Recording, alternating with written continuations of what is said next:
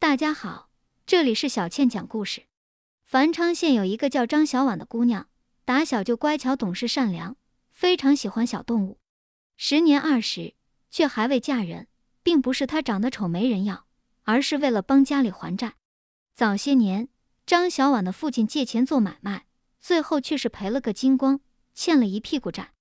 张小婉在女工方面颇有天赋，练得一手超凡的刺绣技艺。为了帮家里还债。他没日没夜的绣绣品，让父亲拿去卖。在他的努力下，张家的债务一点点还清了。但他也熬成了一个老姑娘。古时候，女子大多十六岁出嫁，二十岁已经相当于现在的剩女了。既然债务还清了，张父不敢再耽搁女儿的婚事，就托了个媒婆给女儿寻一门亲事。一个多月过去，媒婆那里一点消息都没有。张父着急，便请媒婆过来询问。媒婆一脸苦涩，说道：“你家闺女这事，我实在无能为了。我找了好几户人家，可人家一听说你女儿的年龄，就纷纷摇头，说你女儿长这么大还没嫁出去，肯定是有问题的，不是长得丑，就是脾气不好，或者德性有亏。”张父一听就急了，微怒道：“他们简直是胡说八道！我女儿善良懂事，且生的肤白貌美，他们怎么能这么说我女儿？”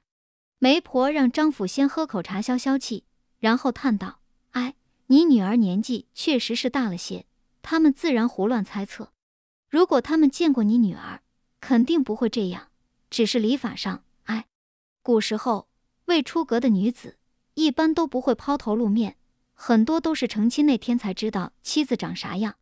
对此，张府也是无奈，只得塞了几个铜板给媒婆，请对方帮忙多讲些好话。”我尽力而为吧。媒婆说完就告辞离开了，只剩张父在那垂头顿足。他非常愧疚，若不是自己生意失败，连累了女儿，女儿早就嫁人了，又怎会弄成现在这样？如今他也不知如何办才好。张小婉走了进来，见父亲这副模样，开口安慰道：“父亲不必为女儿的婚事担心，你看女儿长得又不差，女工做的也好。”怎么会嫁不出去呢？估计呀，是月老喝多了，忘了帮我牵红线。等明天我去月老庙烧炷香，提醒提醒月老他老人家，说不定后天就有人来家里提亲了。他刚刚在门外听到了父亲跟媒婆的对话，其实心里也很是担心，担心自己嫁不出去，做一辈子老姑娘。但见父亲满脸的内疚，便压下自己的忧愁，振奋起精神开导父亲。被女儿这么一开导，张府的心情好了大半，望着女儿说道：“你呀，就知道安慰爹，爹知道你懂事。要不你明天就去月老庙上炷香吧。”一听这话，张小婉的脸顿时露出一抹苦涩。她刚刚就是随口一说，没想到父亲还当真了。见父亲满脸的期待，为自己的婚事操碎了心，她便答应了。这天，张小婉戴着面纱，拎着个篮子。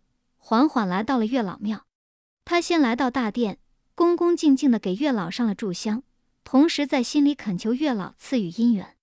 不知道是不是月老真的显灵了，张小婉刚出大殿，看到一个五六岁的调皮稚童，竟然跑去还在施工的房子里玩耍，这多么危险呀！屋顶上正有泥瓦匠给房子上瓦，要是瓦片掉下来，可不是开玩笑的。他三步并作两步跑过去，欲把稚童拉出来。刚到志同身边，就见屋顶上掉下几片瓦，正砸向志同。张小婉没有多想，上前弯腰，用身体护住志同。他紧张的闭上了眼睛，瞬间耳边传来砰砰几声响，但他后背并没有痛感传来。他惊疑的睁开了双眸，看到地上有一个高大的影子，缓缓转身，见一个高大的男子用其伟岸的身躯护住了他与志同。掉下来的瓦片。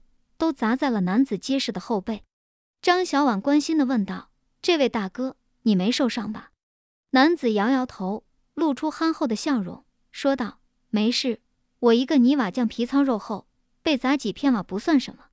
你赶紧带你家的娃离开吧，这里危险，别再让娃娃到这里来了。”闻言，张小婉俏脸一红，赶紧解释道：“大哥别误会，这娃不是奴家的，奴家还没成亲呢。”说完，拉着志同离开。只剩男子站在那一脸的尴尬，盯着张小婉渐渐离开的背影出神。工头包大虎走了过来，拍了拍男子的肩膀，说道：“小七呀，是不是看上人家姑娘了？那姑娘不错，很善良，要不要舅舅帮你打听打听，看看是谁家的姑娘，好让你去提亲？你也老大不小了，是时候该成亲了。”刘小七挠了挠头，有些不好意思，小声说道。那有劳舅舅了。包大虎在十里八乡颇有人脉，花了小半天功夫就打听出来了。当晚就去告诉了妹妹和妹夫，夫妻俩连夜准备聘礼，让刘小七明天赶紧去提亲，说这么善良的姑娘可别错过了。第二天，张父一起床便听到喜鹊叉叉叫，上午就见刘小七来提亲，心情甚好。又见刘小七长得高大健硕，是个泥瓦匠，有一技之长，甚为满意。当即就同意了这门婚事。半个月后，张小婉与刘小七就成亲了。张小婉见新郎是曾经用后背护住自己的男子，很是很开心。刘小七是个憨厚的人，对小婉呵护备至。婚后，夫妻二人恩爱有加。刘小七每天出去干活挣钱养家，小婉在家操持家务，照顾公婆，还做些绣品贴补家用。第二年，两人就有了个大胖小子。生活幸福美满。这天，刘小七感染了风寒，卧床不起，不能去干活。小婉独自一人去镇上请郎中。她嫁进刘家后，过着相夫教子的生活，很少出门。这一次是第一次来镇上，几番跟人打听，才找到一个郎中。小婉简略说了刘小七的情况，请郎中去家里给刘小七看病。感染了风寒，可大可小，郎中不敢耽搁，急忙跟着小婉离开。两人匆匆走过一条街道，正巧被坐在茶楼里的一个男子看见。男子坐在窗边，一身锦衣华服，生得肥头大耳。见到街上匆匆走过的小婉，眼睛一亮，嘴角露出一抹淫笑。他拿起扇子，敲了一下身边跟班的头，然后指着小婉的方向，吩咐道：“二毛，跟着那位小娘子，看看她住哪。”二毛立马点头哈腰答应，小跑着跟了上去。过了一炷香时间，二毛小跑着回到茶楼，禀报道：“少爷，小人已经查到那位女子的住处了，还打听了女子的一些情况。女子叫张小婉，已经嫁人了，丈夫叫刘小七，是个泥瓦匠，夫妻感情甚好。”肥脸男子点点，问道：“她娘家的情况呢？你可有打听？”二毛一脸谄媚的说道：“小人打听过了，是个生意失败的小商人。”如今靠耕作几亩地为生。听罢，肥脸男子拍了拍手中的折扇，喃喃自语：“只不过是无权无势的平头小老百姓，那就容易办了。夫妻感情深厚嘛。”哼哼，他招了招手，二毛立马心领神会，将耳朵凑了过去。肥脸男子低语了一番，二毛听后脸色凝重，问道：“少爷，这个恐怕不妥吧？那可是杀头的大罪呀！”肥脸男子脸一板，说道：“你怕什么？只要事情办得隐秘一点，谁会发现？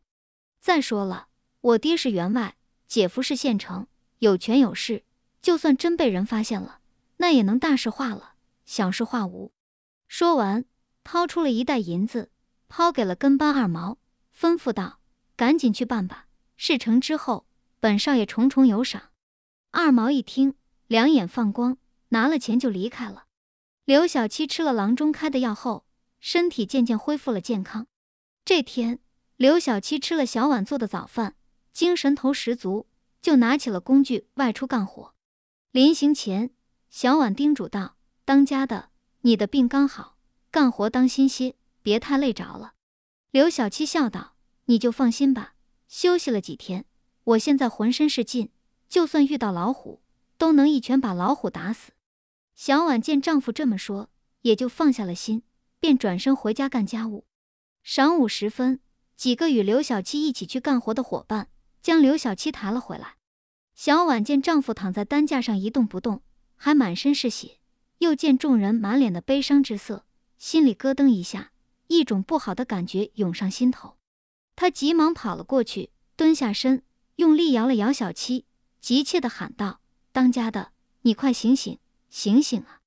见刘小七没有反应，他冲为首的男子大喊道：“柱子哥，我当家的受伤了，你不抬他去郎中那治伤，抬回家里干嘛？快抬我当家的去郎中那里呀！”见几人低着头一动不动，小婉大怒道：“你们还愣着干什么？”几人看了看为首的柱子，显意他把事情说出来。柱子知道这事也只能自己说了，开口说道：“弟妹呀，请节哀顺变，小七他已经走了。”小婉失色道：“不可能的，不可能的。”柱子满脸悲伤道：“小七他今天上房盖瓦时，不小心从房顶掉了下来。等我们把他送到郎中那时，已经没气了。哎，刘小七去世。”对刘家人打击很大，刘母整日以泪洗脸，刘府则借酒消心中的痛，一家人生活的重担落在了小婉一个人身上。她白天强撑着身体干活，晚上一个人偷偷抹眼泪。一天，一个叫李八的富少带着他的跟班二毛来到刘家，说要那小婉当小妾。小婉虽然没怎么去外面，但也听左邻右舍讲过这个李八的事迹，仗着父亲的事，还有姐夫的权。横行乡里，是个胡作非为的恶霸。况且他心里只有小七，绝不会改嫁，所以当场就拒绝了。李爸劝说道：“张小娘子，你丈夫去世了，你一个人操持这个家不容易。只要你答应当我的第二十八房小妾，本少爷会给你一笔钱，让你安顿这一家老小，这样你就不用这么辛苦了，跟本少爷回去吃香的喝辣的。”小婉不为所动，说道。我这辈子都不会改嫁，也不会稀罕你的臭钱，请你们赶紧离开我家。李爸以为对方没了丈夫，一个柔弱女子还不是任他拿捏，只要自己抛出橄榄枝，对方肯定会乖乖爬上来。没想到对方那么犟，竟然还瞧不起他。李爸顿时怒道：“很好，很好，真是给脸不要脸！以后就算想当我的小妾，我还不要了呢。”说完。眼睛露出一抹恶毒之色，然后徜徉离去。邻居马大婶走了进来，一脸担忧的说道：“小婉呐，你以后要当心一点，这李家人呀都心胸狭窄，睚眦必报，仗势欺人，没一个好人。”小婉说道：“多谢大婶提醒，我会当心的。反正我平日里就在家里刺绣，他总不会上门来强抢民女吧？他姐夫虽然是县城，但县城上面还有县令呢。”马大婶闻言叹息一声：“你呀，还是太年轻了。总之，你以后小心一些吧。”一个月过去，小婉并未见李爸有什么动作，悬着的心就渐渐放下。这天，小婉听一个卖货郎说自己的父亲生病了，她跟公公婆婆说了声，便独自一人急急赶回去探望。小婉这一去，迟迟未见回来，小孙子哭着喊着要找母亲，刘老汉也着急。他知道儿媳妇是个懂事有分寸的人，这么晚了都没见回来，便怀疑是不是出了什么事。他叮嘱老伴秦氏照顾好孙子，就找了几个村里的年轻人，拿着灯笼去找儿媳妇小婉。几人一路走到了张家，张父说自己并没有生病，也未见到女儿小婉回来。刘老汉一听，觉得事情可能不妙，将心里的担忧告诉了张父。两拨人扩大了搜索范围。清晨时分，在一个小树林找到了小婉的尸体。刘老汉与张府心中悲痛，当场就晕了过去。经过官府的人查证，得出的结果是，小婉是被人玷污后残忍杀害的，而嫌疑最大的就是那个卖货郎。他故意散播小婉父亲生病的假消息，引诱小婉回娘家探亲，他好中途下手。儿子儿媳相继离世，秦氏经受不了，病倒了。刘老汉一个人，既要照顾老伴，又要照顾小孙子，日子过得苦不堪言。好在有包大虎接济，日子才能勉强维持。转眼半年过去，官府还是没有抓到那个卖货郎，这个案子差不多就是不了了之了。一天，一个长得十分秀丽的女子来到了小婉的坟墓前，喃喃自语：“恩人，你怎么就走了呢？我还没有报答你的大恩呢。”女子拜了三拜。又开口说道：“恩人放心，我会好好照顾你的家人的。”女子径直来到了刘家，说自己是小婉的义妹，叫小花，略懂医术，特来给秦氏看病。刘老汉疑惑问道：“小花姑娘，我怎么没听小婉提起过你呢？”小花说道：“小婉姐曾经帮助过我，所以我认她当一姐。刘老爹，你也应该清楚小婉姐的为人，她从来都是施恩不忘报的。我们已有几年未见了，所以她没提到我，也就不奇怪了。刘老汉闻言也觉得有道理，小婉确实是这样的人。再说如今家里穷的连耗子都懒得光顾，对方没有必要骗自己，便热情的将小花请进屋。小花来到房间。看了看秦氏，对刘老汉说道：“我治病的方法有些特殊，请您到外面等候。”刘老汉听罢，便走了出去。他在外面看到房间里闪了几下亮光，没过多久，就见小花扶着秦氏走了出来。他惊喜地道：“老婆子，你能下地走路了呀？”自从秦氏病倒，就一直卧床不起，找了七八个郎中看，都没有一点起色。如今小花几下就治好了，令刘老汉十分惊讶。自此，小花就在刘家住了下来。他见刘家人的日子过得清苦，每天靠两碗米粥加点咸菜强撑着，勉强能不被饿死。小花是来报恩的，哪能看着他们过这样的日子，就说自己有些钱，要到镇上买些粮油米面回来。刘老汉见小花长得十分秀丽，他想起了儿媳妇小婉，因为一个人外出被害。所以他要跟着去，也好保护小花。小花刚来，对镇上不熟悉，见刘老汉要跟来，也就答应了。两人出了村口，就朝镇上赶去。两人走到半路，远远看见迎面走来五六个人，为首之人身着锦衣华服，肥头大耳，格外显眼，正是那恶霸李霸。刘老汉一见这人，轻轻扯了扯小花的衣服，焦急地说道：“小花，前面那人是个恶霸。”咱们赶紧进旁边的林子躲一躲吧。小花听罢，不想多事，转身跟刘老汉小跑着钻进林子。可是他们一动，反倒是引起了李霸等人的注意。这些人追着进了林子。刘老汉毕竟年纪大了，小花又是个柔弱的女子，很快就被李爸等人围住了。李爸见小花貌美，眼睛顿时就亮了，脸上露出了贪婪之色。他上前两步。色眯眯的看着小花，赞道：“小娘子长得真俊，只要肯跟本少爷，本少爷让你吃香的喝辣的。”小花最是厌恶这种登徒子，回道：“本姑娘就算吃糠咽菜，也不会跟你这肥头大耳的猪。”李爸一听怒了，说道：“你竟敢骂本少爷！来人呀，快捉住他！本少爷要撕了他的衣服！”几个狗腿子立马上前，欲要捉住小花。刘老汉赶紧上前阻拦，恳求道：“李少爷，你大人有大量，别跟他一般计较。行行好，放了我们吧。”李爸这才注意到刘老汉，认出是张小婉的公公，上前一巴掌打倒刘老汉，怒道：“怎么又是你这个老东西？你家的女人怎么一个比一个不识抬举？”小花见刘老汉被打倒，蹲下身关心的问道：“刘老爹，你感觉怎么样？有没有受伤？”刘老汉摇了摇头，小声说道：“小花，你快跑，别管我了。”李爸冷笑道：“今天你们一个都跑不了。老头不怕告诉你，你儿子跟儿媳都是本少爷害的，是本少爷派人在你儿子的午饭里下了药，他才从屋顶摔下来的。也是本少爷指使卖货郎散播假消息，引张小婉去探亲，然后在半路捉他进了林子。只要是本少爷看中的东西。”从来都逃不脱本少爷的手掌心。这个叫小花的姑娘，今天本少爷要定了，哈哈哈！闻言，刘老汉怒目圆睁，失声道：“原来是你这个畜生害了的儿子儿媳。”小花双目露出寒芒，冷冷地道：“原来是你害了我的恩人，我要你偿命！”只见小花突然抱起，几下将李爸的五个狗腿子全部打倒在地，他一步一步逼近李爸。李爸顿时就慌了，后退了两步，颤声道：“你别乱来！你知道我是谁吗？我爹是李员外李刚，姐夫是县城赵刚。